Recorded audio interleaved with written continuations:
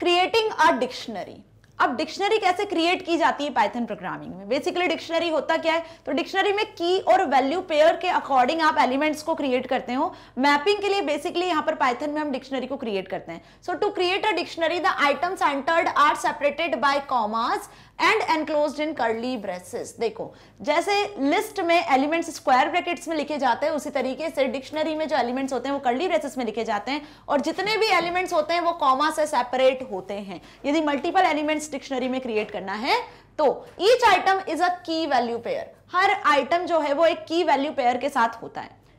Separated through colon और किससे separate होता है? कॉलन से सो so, जैसे English to English English to Hindi dictionary आप सभी ने देखी ना यूज़ करते हो आप जनरली वर्ड होता है उसका मीनिंग आपको मिलता है। बिल्कुल इसी तरीके से यहाँ पर डिक्शनरी में की होती है कॉलन लगाते हो आप और उसके बाद इस की की वैल्यू को लिखते हो। सो so, हर की की वैल्यू होती है इसके करस्पॉन्डिंग कहाँ पर? डिक्शनरी में। और डिक्शनरी को लिखा जाता है किसमें करली ब्रेसेस में। ये चीज़ हमें ध्यान रखनी है। यदि मल्टीपल की वैल्यू पेयर और इसी को कहा गया है एक पेयर और आइटम के नाम से भी हम इसे रिफर करते हैं डिक्शनरी आइटम के नाम से। और यदि मल्टीपल आइटम मल्टीपल पेयर होंगे तो कॉमा से सेपरेट करके हम उन्हें स्पेसिफाई करते हैं। So the keys in the dictionary must be unique ध्यान रखना, जो डिक्शनरी में की होती है, वो यूनिक होती है and should be of any immutable data type that is number string और टप्पल तो की किसी भी डेटा टाइप की हो सकती है। मतलब कीज आप स्ट्रिंग से भी क्रिएट कर सकते हो नंबर की भी क्रिएट कर सकते हो कोई टपल भी हो सकती है। इम्यूटेबल डेटा टाइप को सपोर्ट करता है की ओके okay, जो डिक्शनरी में हम क्रिएट करते हैं। अब जो वैल्यूज़ होती हैं that can be repeated and can be of any data type और वैल्यूज़ रिपीट हो सकती है बट की रिपीट नहीं होती है। की के थ्रू ही आप वैल्यूज़ को एक्सेस करते हो तो की रिपीट नहीं होना चाहिए। ओके समझ में आया? जैसे एग्ज़ाम की बात करें तो एग्ज़ाम में रोल नंबर रिपीट नहीं होते ना, बिल्कुल हर एक स्टूडेंट का रोल नंबर सेम होता है। स्टूडेंट के नेम रिपीट हो सकते हैं बट उनको आइडेंटिफाई हम किससे करते हैं? यूनिकली आइडेंटिफाई उनके रोल नंबर से ही। बिल्कुल उसी तरीके से डिक्शनरी में वैल्यूज़ को यदि एक्सेस करना है तो कीज का यूज़ करके उन्हें एक्सेस करते हैं तो कीज क्या होनी चाहिए? यूनिक होनी चाहिए। ओके वैल्यूज़ रिपीट हो सकती है but keys can not be repeated clear हुआ है अच्छे से? और की जो है, वो किसी भी डेटा टाइप की क्रिएट कर सकते हो। आप नंबर्स स्ट्रिंग टपल किसी भी टाइप के, लेकिन वैल्यूज़ भी आप किसी भी डेटा टाइप की क्रिएट कर सकते हो। Fine now to create a dictionary you need to include key value pair in curly braces as per the following ये हो गया सिंटेक्स कैसे क्रिएट करना है? डिक्शनरी का नाम लिखना है, जैसे लिस्ट का नाम लिखते हैं हम list one list two L L B जो भी नाम आपको लिखना है। डिक्शनरी का नाम लिखा is equals to assignment operator का यूज़ करना है। इस पर्टिकुलर वेरिएबल में डिक्शनरी की वैल्यू पेयर के फॉर्म में स्टोर हो जाएगी। सपोज़ डिक्शनरी वन आपने नाम से क्रिएट करा, ठीक है? नाउ की कॉलन वैल्यू की और वैल्यू के बीच में कौन सा साइन आ रहा है? कॉलन ओके देन कॉमा लगा के आप ऐसे की वैल्यू पैर को स्पेसिफाई करो और करली ब्रेसेस के अंदर आपको डिक्शनरी को स्पेसिफाई करना है okay so dictionary curly braces में स्पेसिफाई की जाती है। लिस्ट को हम स्क्वायर ब्रैकेट्स के अंदर क्रिएट करते हैं। Okay now dict one is an empty dictionary अब देखो डिफरेंट वेज यहाँ पे है डिक्शनरी को क्रिएट करने के लिए एग्जांपल्स देख रहे हैं। सबसे पहले एम्प्टी डिक्शनरी किस तरीके से क्रिएट की जाती है? एग्ज़ाम में आता है what are the way to create empty dictionary तो आपको इस तरीके से डिक्शनरी क्रिएट करना है। Dict one is equals to blank curly braces आपको लिखना है, उसके अंदर आपको कोई की वैल्यू पेयर नहीं लिखना है। तो एक एम्प्टी डिक्शनरी क्रिएट होगी। जब डिक्ट वन को प्रिंट कराओगे तो क्या आ जाएगा आपको? एक एम्प्टी डिक्शनरी शो होगी। Similarly, dict 3 is the dictionary that maps names of the students to marks in a percentage. अब यहाँ पे हम एक एग्ज़ाम्पल देख रहे हैं। हम यहाँ देख रहे हैं कि स्टूडेंट है उनके नाम और उनके मार्क्स को आप मैप करवा रहे हो। ठीक है? उसके लिए आप की वैल्यू पेयर के अकॉर्डिंग डिक्शनरी क्रिएट कर रहे हो। कैसे? Dict three Mohan colon 95 Mohan के 95 मार्क्स है और मोहन जो है वो सिंगल इन्वर्टेड में लिखा हुआ है। मोहन बन गया की राम 89 सुहेल 92 संगीता 85 ओके तो चार स्टूडेंट है, चार उनके नाम लिखे हुए हमने, जो कि की है, और उनके जो परसेंटेज है, वो वैल्यू है। अब जब आप डिक्शनरी थ्री को प्रिंट कराओगे तो कुछ इस तरीके से आपको डिक्शनरी प्रिंट होती हुई शो होगी। 95 89 सोहेल 92 संगीता 85 इसको और कैसे समझोगे आप? देखो यहाँ पर। की और वैल्यू आपको यदि अच्छे से समझ में आएगा कॉन्सेप्ट तो वो कुछ इस तरीके से कि मेमोरी में कैसे स्टोर होता है। मेमोरी आपको पता है कि ट्रैक्स में सेक्टर्स में डिवाइड होता है। तो यहाँ पर देखो कितने हमने कीज ली हुई है। One two three four four key value pair लिया हुआ है। तो मेमोरी में चार स्पेस क्रिएट हो जाएँगी। ओके और वहाँ पर की और वैल्यू कुछ इस तरीके से स्टोर हो जाने वाली है। फाइन जैसे कि आपको यहाँ पे शो हो रहा है। सो ये हो गए आपकी कीज मोहन राम सुहेल संगीता ठीक है? और 95, 89, 92, 85 ये उनके कॉरस करस्पॉन्डिंग क्या हो गई उनकी वैल्यूज़ हो गई। अब आप जब भी मोहन को एक्सेस करोगे तो आप उसके परसेंटेज 95 उसकी वैल्यू को एक्सेस कर सकते हो। इस तरीके से बेसिकली की वैल्यू के फॉर्मेट में ही क्या होती है? मैपिंग होती है डिक्शनरी में। सो so, ये चीज़ अच्छे से समझ में आई कि डिक्शनरी कैसे क्रिएट करना है। एम्प्टी डिक्शनरी क्रिएट करना है तो कोई की वैल्यू पेयर पास नहीं करना है कर्ली ब्रेसेस ब्लैंक होंगे। तो एम्प्टी डिक्शनरी क्रिएट हो जाएगी। जब की वैल्यू पेयर आप पास कर देते हो तब एक डिक्शनरी क्रिएट होती है। नाउ किस तरीके से की और वैल्यू पेयर को आप एक्सेस कर पा रहे हो? देखो ये आपने क्रिएट करा है एक पेयर ओके okay, अब इसमें मोहन की हो गया 95 उसकी वैल्यू हो गई राम की हो गया 89 उसकी वैल्यू हो गई। अब आप इन की के अकॉर्डिंग इनके परसेंटेज को एक्सेस करते हो। कैसे एक्सेस करेंगे, अब वो देखते हैं। क्रिएशन करना तो हमने देख लिया।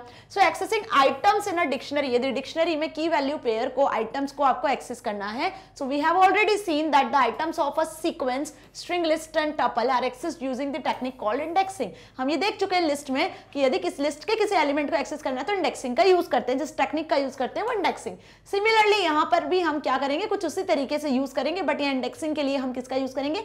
कीज का यूज़ करेंगे। वहाँ पर इंडेक्सिंग के लिए आप फॉरवर्ड बैकवर्ड इंडेक्सिंग का यूज़ करते थे। ज़ीरो से डिफ़ॉल्ट इंडेक्सिंग शुरू होती थी लिस्ट में।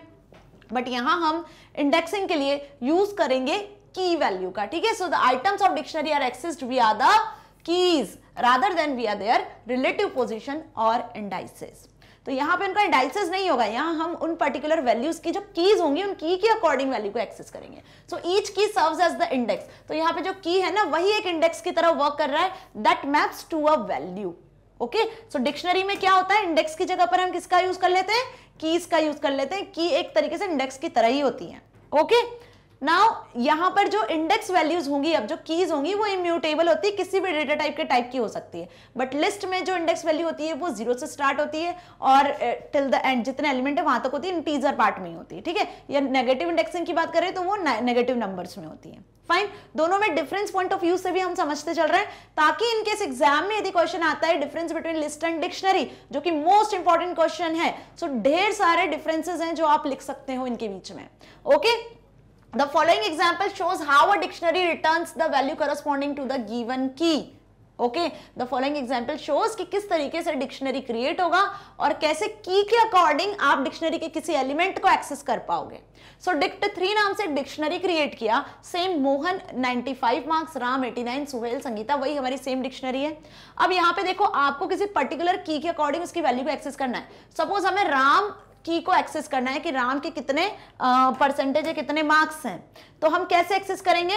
डिक्शनरी का नाम लिखेंगे, जो भी डिक्शनरी वेरिएबल आपने यूज़ किया, उसका नाम लिखेंगे। और स्क्वायर ब्रैकेट के अंदर ही आप क्या करोगे?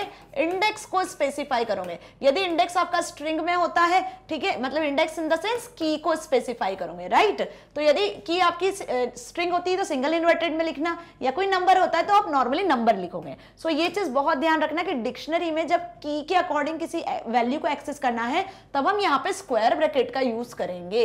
ओके जैसे लिस्ट में यूज़ करते थे ना कि लिस्ट में आपको कोई फोर्थ पोजीशन का एलिमेंट एक्सेस करना है तो आप क्या करते थे? स्क्वायर ब्रैकेट का यूज़ करते थे बिल्कुल उसी तरीके से। डिक्शनरी में यहाँ पे हमें क्या करना है? डिक्ट थ्री में राम नाम के की की वैल्यू एक्सेस करना है। तो सिंगल इन्वर्टेड में आपने क्या लिख दिया? उस की का नाम लिख दिया। लेकिन किसमें कैप्ट करा है इसको? स्क्वायर ब्रैकेट में। सो so, जैसे ही आपने लिखा डिक्ट थ्री स्क्वायर ब्रैकेट्स में राम राम वाली की को आपको एक्सेस करना है तो राम के जितने भी परसेंटेज होंगे राम की की जो वैल्यू होगी वो आपको रिटर्न हो गई। ओके सो यहाँ पे इंडेक्सिंग को कैसे करते हैं हम? की के अकॉर्डिंग करते हैं। ठीक है? की के अकॉर्डिंग वैल्यू को एक्सेस करते हो। कैसे? की को मेंशन करते हैं स्क्वायर ब्रैकेट में। की नंबर टाइप की भी हो सकती है स्ट्रिंग टाइप की भी हो सकती है किसी भी डेटा टाइप की हो सकती है। क्लियर नेक्स्ट देखो डिक्ट थ्री संगीता। अब संगीता जो यहाँ पर है यस yes, ये की प्रेजेंट है इस डिक्शनरी में दिख रहा है हमें। तो जैसे ही आपने लिखा संगीता तो करस्पॉन्डिंग रिज़ल्ट आपको यहाँ पे मिल गया उसकी वैल्यू मिल गई आपको 85 लेकिन व्हाट अबाउट जब आप कोई की स्पेसिफाई कर रहे हो और वो की उस डिक्शनरी में ही नहीं प्रेजेंट है? वो की उस डिक्शनरी में प्रेजेंट ही नहीं है तब क्या आउटपुट आएगा? तब आपको एक एरर मिलेगी दैट इज़ की एरर देखो डिक्ट थ्री में श्याम नाम की की को आप एक्सेस करना चाह रहे हो। तो डिक्ट थ्री एक डिक्शनरी जिसमें मोहन राम सुहेल संगीता चार ही की है। श्याम नाम की कोई की प्रेजेंट नहीं है। तो की एरर यहाँ पे जनरेट होगी। सो so, अभी हमने देखा था वैल्यू एरर टाइप एरर कि जब लिस्ट में वैल्यू नहीं होती तो वैल्यू एरर आ जाती है बिल्कुल उसी तरीके से यहाँ पर की नहीं मिलती है तो की एरर आती है। है ना? यदि लिस्ट का इंडेक्स फाइंड आउट नहीं होता तो इंडेक्स एरर जनरेट हो जाती है। यहाँ पे कौन सी एरर जनरेट हो रही है? की एरर तो डिफरेंस के पॉइंट यहीं पे मैं सारे बताती चल रही हूँ आपको। ठीक है? कि लिस्ट में कैसी एरर आती है? डिक्शनरी में किस तरीके की एरर आती है? लिस्ट में हम स्क्वायर ब्रैकेट में मेंशन करते हैं या कर्ली ब्रेसेस में मेंशन किया जाता है? ओके लिस्ट में इंडेक्सिंग यूज़ की जाती है। टू टाइप की इंडेक्सिंग होती है। डिक्शनरी में आप की को एज इंडेक्स यूज़ करते हो और की के अकॉर्डिंग ही एलिमेंट को एक्सेस करते हो। Fine next the membership operator okay okay, अब लिस्ट में आपने फोर टाइप के ऑपरेशंस देखे थे. कॉन्केटेनेशन रिपीटेशन ओके और मेंबरशिप ऑपरेटर भी देखा था कंपैरिजन ऑपरेटर भी देखा ट्रेवर्सिंग कैसे करते वो सब. ये सभी चीज़ें डिक्शनरी में भी पॉसिबल है. सो मेंबरशिप ऑपरेशन कैसे यूज़ करना है किस तरीके से इन और नॉट इन का यूज़ करना है? तो membership operator in and not in ये दो होते हैं ये हमें पता है अच्छे से. तो डिक्शनरी में यदि वैल्यू मिलती है तो इन और यदि डिक्शनरी में वैल्यू नहीं मिलती है तो not in true result return करते हैं। समझ में आया? इनका काम क्या है? जो की आप सर्च करने वाले हो, यदि वो की डिक्शनरी में प्रेजेंट है तो आपको आउटपुट क्या रिटर्न करेगा? इन ट्रू और यदि नहीं है तो फॉल्स और नॉट इन क्या करेगा? इसका उल्टा वर्क करेगा। यदि डिक्शनरी में पर्टिकुलर की के अकॉर्डिंग वैल्यू मिल रही है आपको की प्रेजेंट है तो नॉट इन आपको फॉल्स रिटर्न करेगा और नहीं प्रेजेंट होगी इन दैट केस ये ट्रू रिटर्न करेगा। Okay So, the membership operator in checks if the key is present in the dictionary and returns true. यदि की present होती है तो return करेगा true, else return false. Example Mohan 95 Ram 89 Sohel 92 Sangeet 85 वही same example है, हमारा ये एक डिक्शनरी है, जिसमें हम चेक कर रहे हैं कि सुहेल नाम की जो की है, क्या वो डिक्शनरी वन में है, किसके थ्रू इन ऑपरेटर के थ्रू कैसे लिखा? सुहेल सिंगल इन्वर्टेड में, क्योंकि एक स्ट्रिंग टाइप की की है डिक्शनरी की. इन डिक्ट वन उस डिक्शनरी का नाम जिसमें आप सर्च कर रहे हो. ठीक है मेंबरशिप ऑपरेटर का यूज़ कर रहे हो। यदि ये प्रेजेंट है तो आउटपुट क्या है? True yes it is present ये दिख रहा है हमें यहाँ पर है। Okay the not in operator return true if the key is not present in the dictionary else it return false यदि की प्रेजेंट नहीं होती, तब हमें ट्रू रिटर्न करेगा कौन सा ऑपरेटर नॉट इन का। देखो, वही सेम हमारी डिक्शनरी है डिक्ट वन जो अभी हमने देखी। अब इसमें हम चेक करवा रहे हैं। Suhel not in dict one क्या सुहेल नाम की जो की है, वो इस डिक्शनरी में प्रेजेंट नहीं है? नहीं है का यूज़ कर रहे हैं नॉट इन नॉट इन का यूज़ कर रहे हैं तो क्या रिटर्न करेगा ये? फॉल्स क्योंकि प्रेजेंट है। नहीं होता तो ट्रू रिज़ल्ट रिटर्न करता। Okay okay? दोनों क्लियर अच्छे से मेंबरशिप कैसे वर्क कर रहे हैं? Okay now dictionaries are mutable dictionaries mutable भी होती है, जैसे लिस्ट होती है। अब लिस्ट में भी आप आइटम्स को ऐड कर सकते हो, जो आइटम्स हैं, उनको चेंज भी कर सकते हो। बिल्कुल वैसे लिस्ट में हम क्या कर डिक्शनरी में हम क्या कर सकते हैं? आइटम्स को, जो जो भी वैल्यूज़ है, उनको की के अकॉर्डिंग चेंज कर सकते हैं। ठीक है? या नया की पेयर भी आप ऐड कर सकते हो। ये भी पॉसिबल है। इसी को बोलते हैं mutable so dictionaries are mutable which implies that the contents of dictionaries can be changed after it has been created यदि एक बार आपने कोई आइटम कोई कंटेंट क्रिएट कर दिया डिक्शनरी में so you can change it okay adding a new item सबसे पहले देख लेते हैं म्यूटेबल में सबसे पहला कॉन्सेप्ट कि आप कैसे कोई नया आइटम कोई नया की पेयर ऐड करते हो। So we can add a new item to the dictionary as shown in the following example dict one ये एक डिक्शनरी यहाँ पर क्रिएटेड है, आपको शो हो रही है, वही सेम मोहन राम सुहेल संगीता की के साथ। अब यहाँ पे आपको एक नया की पेयर ऐड करना है। तो आपने क्या लिखा? डिक्शनरी का नाम लिखा स्क्वायर ब्रैकेट में ही की को एक्सेस करना है। स्क्वायर ब्रैकेट में जो नई की ऐड करना है, हमें मीना नाम की एक नई की ऐड करना है। इज़ इक्वल्स टू उस की की वैल्यू उस की का पेयर हमने इज़ इक्वल्स टू करके लिखा। सो so, ये लाइन बहुत ध्यान रखो अच्छे से जो मैं यहाँ पे हाईलाइट करके आपको बता रही हूँ कि डिक्शनरी का नाम स्क्वायर ब्रैकेट में की का नाम जो ऐड करना है की इज़ इक्वल्स टू उस की की वैल्यू लिख देना है। तो अब मीना नाम की एक की क्रिएट हो जाएगी जिसके परसेंटेज 78 असाइन हो जाने वाले इस नाम से एक पेयर की पेयर क्रिएट हो जाएगा at the end of the dictionary okay okay, so so जब आप डिक्ट वन को प्रिंट कराओगे सो लेट सी दी आउटपुट क्या आने वाला है। सो so, ध्यान से देखो ये one two three four four तो की पेयर ऑलरेडी क्रिएटेड थे संगीता तक, लेकिन बाद में एक और की पेयर ऐड हो गया जो हमने यहाँ पर ऐड किया मीना 78 ओके सो आप कैसे नया आइटम डिक्शनरी में क्रिएट कर सकते हो ये देखा हमने, है ना? At the end of the dictionary नया की पेयर ऐड हो जाता है। ना मॉडिफाइंग एन एग्जिस्टिंग आइटम अब जो एग्जिस्टिंग आइटम है, पहले से जो क्रिएटेड है की वैल्यू पेयर उसको मॉडिफाई करना है। तो the existing dictionary can be modified by just overwriting the key value pair example to modify given item in the dictionary कैसे? ध्यान से देखो। डिक्ट वन मोहन राम सुहेल संगीता ये हमारी सिमिलर डिक्शनरी है। ठीक है? अब यहाँ पे आप चेंज करना चाहते हो इसकी की वैल्यू को। सुहेल के 92 जो यहाँ पे परसेंटेज आपको दिख रहे हैं सुहेल की के अकॉर्डिंग जो वैल्यू है 92 उसको हम चेंज करना चाह रहे हैं। तो की के अकॉर्डिंग ही आप वैल्यू को मॉडिफाई कर पाओगे डिक्शनरी में। सो so, क्या करा हमने? उसी तरीके से यूज़ किया है। डिक्ट वन स्क्वायर ब्रैकेट्स में हमने लिखा की का नाम, जिस की की वैल्यू को आपको मॉडिफाई करना है। सुहेल लिखा, और 92 थे, अब नई वैल्यू आपने यहाँ लिख दी जो आपको मॉडिफाई करना है। इज़ इक्वल्स टू के थ्रू नई वैल्यू यहाँ पे सुहेल की की असाइन हो जाने वाली है। डिक्ट वन को जब प्रिंट कराओगे तो देखो यहाँ पर सुहेल में 92 था, अब क्या आ गया यहाँ पे नई वैल्यू दिख रही है आपको 93.5 कैसे हुआ? By using this task okay so क्या करना है आपको? नई वैल्यू कैसे ऐड करनी है? कैसे एग्जिस्टिंग वैल्यू को चेंज करना है? की के अकॉर्डिंग वो देखा। डिक्शनरी के साथ स्क्वायर ब्रैकेट लगा के की को एक्सेस कर लेना है। Now we can access each item of dictionary और traverse dictionary using for loop for loop का यूज़ करके आप डिक्शनरी को ट्रेवर्स भी कर सकते हो। डिक्शनरी में कितने किए पेयर्स हैं उसे चेक करवा सकते हो प्रिंट करवा सकते हो। जैसे लिस्ट को ट्रेवर्स किया था ना फॉर लूप का यूज़ करके रेंज फ़ंक्शन का यूज़ करके बिल्कुल उसी तरीके से। सो so, देखो डिक्शनरी हमारी वही सेम है। ओके नाउ मेथड वन दो तरीके से कर सकते हैं फॉर लूप का यूज़ यहाँ पर आप। तो पहला फॉर लूप हमने कैसे यूज़ करा है? फॉर की की नाम का एक काउंटर लिया है हमने counter variable in dict one dictionary one में जितने भी कीज हैं, उन सब की वैल्यू इस की में आती जाएगी और जितनी की प्रेजेंट है, उतनी बार ये की वेरिएबल वर्क करेगा। ठीक है? सो पहले अब प्रिंट क्या करवा लिया? हमने यहाँ पर की को प्रिंट करवाया। कॉलन लगा के डिक्शनरी की कीज के अकॉर्डिंग सारी वैल्यूज़ प्रिंट हो जाएँगी। ओके कैसे प्रिंट होगी? देखो। क्यों? इस तरीके से क्यों प्रिंट हुआ? क्योंकि यहाँ पे हमने क्या लिखा है? प्रिंट क्या करवाया देखो, सबसे पहले तो की।